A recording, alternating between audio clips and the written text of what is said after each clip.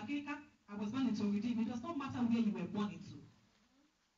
It does not matter where you were born into, the church you were born into. It does not really matter where you were born into. What do you have in the inside of you? What do you carry in the inside of you? That is what is important. If indeed you were born into a church, then let us see. Let's see the name of that God glorified in you. Let your ways, let your attitude, let everything about you speak it out. Don't even tell me that you were born into a church. Let your attitude tell me. Let your ways tell me. Let your dress code tell me. Let everything about you tell me that you were born into a Christian home. To prosper in a foreign land, the first thing that you need to do, get God. After getting God, be determined in your heart never to defile yourself. Be determined in your heart never to define yourself in any way, in any way, in any way. You have to close your eyes to so many things. You need to close your eyes to so many things. So, so many social things, you have to just close your eyes as if it does not exist. Daniel and his brethren, they were able to close their eyes to all the good foods, to all the good wines, and they were nurtured only on vegetables and water. And they still came out looking healthier, looking better than others.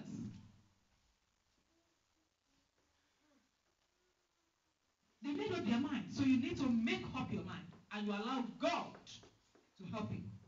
And see what follows. Verse 17. God gave these four young men an unusual aptitude for understanding every aspect of literature and wisdom. And God gave Daniel the special ability to interpret the meanings of visions and. This is what comes after when you propose in your heart, when you are determined in your heart not to defile yourself. Great things happen. What you are not even expecting, what you did not even pray for. These men did not pray for all of these things, but it followed because God saw that these ones, they are actually good. They are for me, they are not against me.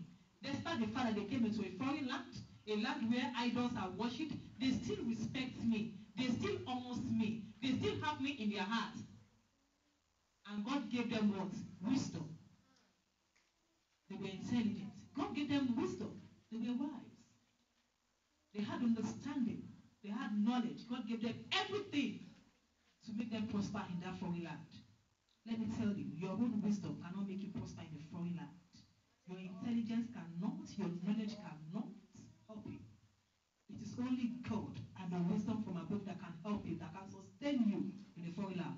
That is why we see so many people, they will tell you, I've been in Ireland for 10 years, nothing to write home about, nothing to show for it.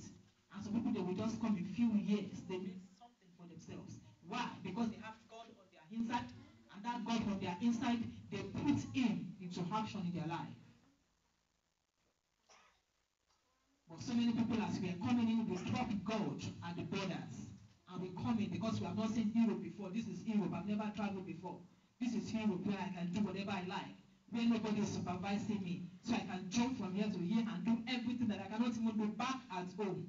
And then God just cancels you from his register and leaves you. Then it remains struggling. Struggle, struggle all through. Struggling, struggling, struggling to put water in your mouth, to eat, to do everything. Why? Because you have not been able to propose in your heart not to define yourself. You have not been able to make up your mind. And look at what follows when you make up your mind. This is what follows. What you have not even prayed for, God gives you. He gives you a particular gift that will bring you out in that land, that will make you become a solution. This gift that he gave to these four men, the ability to interpret the meanings and visions of dreams, brought Daniel out, singled him out in the land of Babylon. That at the end of the day, he was the second in command to the king. A foreigner in the land being the second in command, just like the Taoiseach, just like the minister.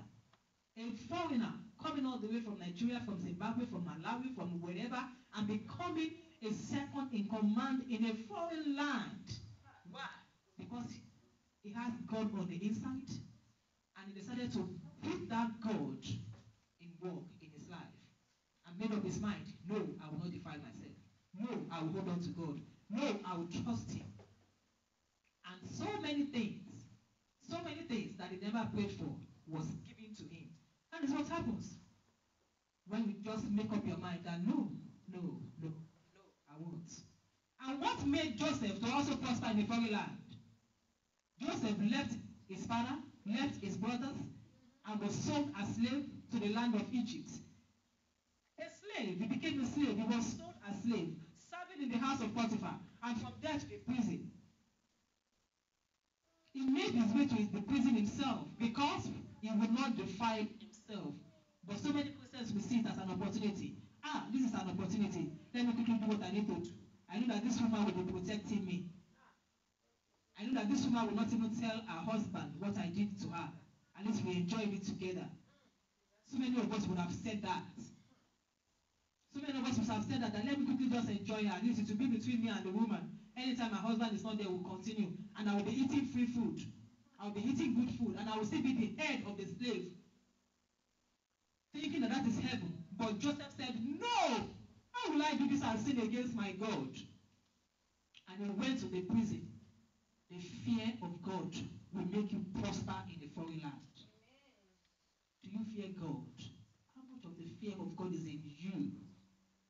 The fear of God will prosper you in a foreign land. The fear of God, which is the beginning of wisdom, the beginning of divine wisdom, and Jesus is the wisdom of God. He said, Why will I do this and sin against my God? The owner of the house is not there. He could have just done it. The woman will the woman tell her husband, No. Is it possible for somebody to sleep with me in my own house? I was even the one that even invited him, my slave, my driver. And after sleeping with me, I will not go and tell my husband. That is madness. Can I do that? No, I will cover it. I will even beg him. Please don't tell Oga. Make sure you don't tell Oga.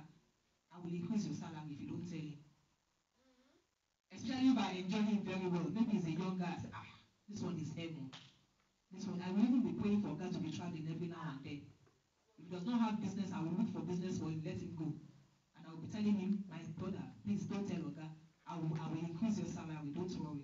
I will pay you everything. Just just stay. Don't ah, you are the head of the slaves now. I will promote you. I will promote him. I will give him everything. So that he will not tell my husband and my husband Guy said, No, I will sleep with you, madam. You are my boss wife. You are the wife of my boss. You are the wife of the person that is giving me food to eat, water to drink.